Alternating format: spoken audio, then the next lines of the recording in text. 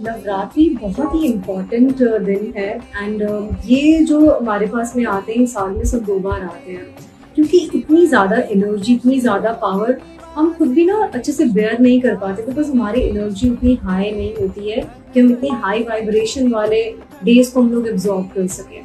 तो ये जो दिन होते हैं, ये हमारे लिए बहुत ही ऑस्पिशियस दिन होते हैं।